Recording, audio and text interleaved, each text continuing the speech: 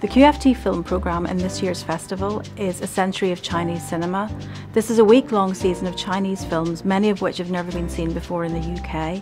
And it includes everything from historical ep epics to swordsmen to Chinese disaster movies. There's, a real treat in store for anybody who's interested in seeing this cinema. Many of these films are really new to Western audiences. The season will be running at QFT from the 17th to the 23rd of October and booking can be made online at www.queensfilmtheatre.com.